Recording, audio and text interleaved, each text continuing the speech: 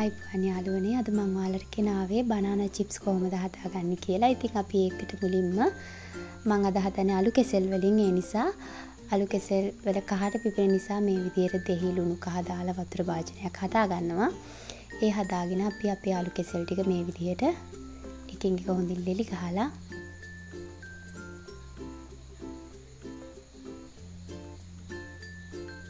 මේ විදිහට දෙහි ලුණු කහදාගත්ත ඒ වතුරේකට අලු කෙසෙල් ටික ලෙලි ගාලා එකතු කරනවා. නැත්නම් අපේ අලු කෙසෙල් වල කහට පිපෙනවා. ඉතින් මේ චිප්ස් එක ඕනම කෙසෙල් වර්ගයකින් හදාගන්න පුළුවන්. හොඳට පැහුණු අමු ඕනම කෙසෙල් වර්ගයකින් හදාගන්න පුළුවන්. හරිම ලස්සයි. අද මම හදන්නේ අලු කෙසෙල් වලින්. ඉතින් මේ විදිහට අපේ වතුරේකට දාගත්ත අලු කෙසෙල් ටික එකින් අරගෙන අපිට පුළුවන් හීනි පෙති කපා ගන්න.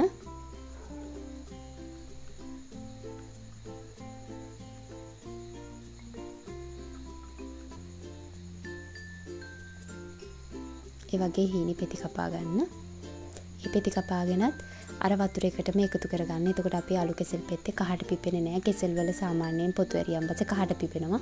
ඉතින් මේ වගේ කහ ලුණු දෙහි එකතු කරගත්ත වතුරේකට දැම්මහම පොඩ්ඩක්වත් කහට පිපෙන්නේ නැහැ.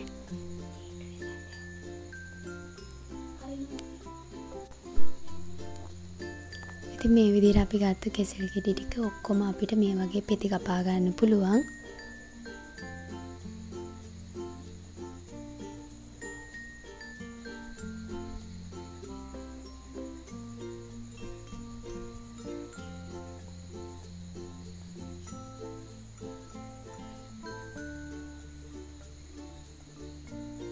පුළුවන්.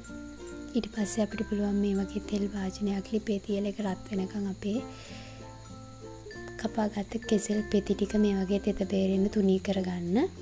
ඉතින් මේ විදිහට තුනී කරගෙන බැදගත්තාම අපිට තෙල් යන ප්‍රමාණය ගොඩක් අඩුයි. ඒ වගේම තෙල් වීසි වෙන්නෙත් නැහැ.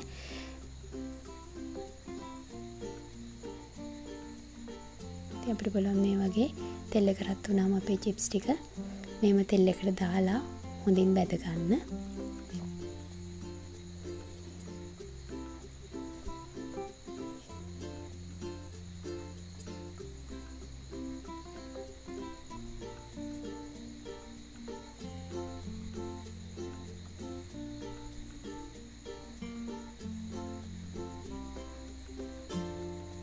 මෙන්න මේ විදිහට තෙලේ බුබුලු ගතිය හොඳටම අඩු වුණාට පස්සේ අපේ අලු කෙසෙල් ටික දැන් අපිට හොඳට බැදිලා තියෙන්නේ.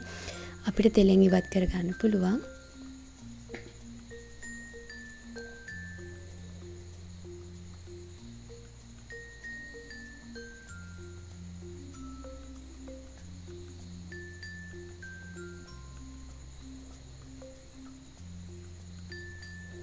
මේ විදිහට අපිට අපේ අලු කෙසෙල් පෙති ටික සේරම බැද ගන්න පුළුවන්.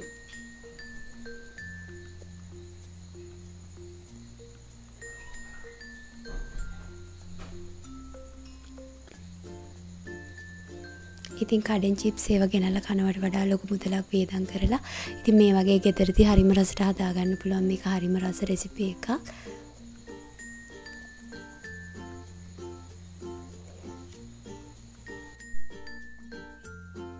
ඉතින් අපි මේ විදිහට ඔක්කොම අලු කෙසෙල් ටික පැදලා ඉවත් කරගන්න. ඊට පස්සේ අපිට බලන් ගම්බිරිස් ටිකක් ලුණු ටිකක් එකට වංගෙඩියට දාලා මේ වගේ කොටා ගන්න. එතකොට ගම්බිරිස් ලුණු ඔක්කොම එකට හොඳට රසට දැනෙනවා.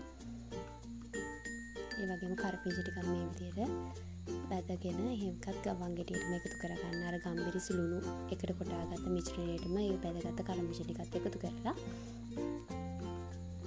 ඒකත් මේ හොඳින් කොටා ගන්න. හොඳින් කරපිංචා ටික බැදුනාට පස්සේ හොඳට කොටා ගන්න. ඉතින් මේ විදිහට හොඳටම කුඩු වෙන්න කොටා ගත්තට පස්සේ අපිට පුළුවන් අපේ අලු කෙසෙල් පෙති බැදගත්ත මිශ්‍රණයට මේ ටික එකතු කරන්න. අපේ චිප්ස් ටිකට මේ ටික එකතු කරන්න. ඉතින් නිකන් බැදලා දානවට වඩා මේ විදිහට කරපිංචත් බැදලා කුඩු කරලා මෙහෙම එකතු කරගත්තාම මේක දැනෙන රස වැඩි. මේ විදිහට හොඳින් කලවම් කරගන්න.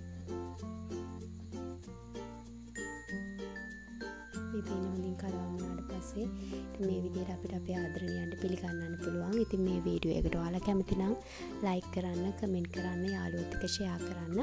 ඒ වගේම මගේ channel එක subscribe කරන්නත් අමතක කරන්න එපා. මේ වගේ රස රස රෙසිපි ඔයාලත් හදලා බලන්න. හදලා මට කමෙන්ට් කරන්න.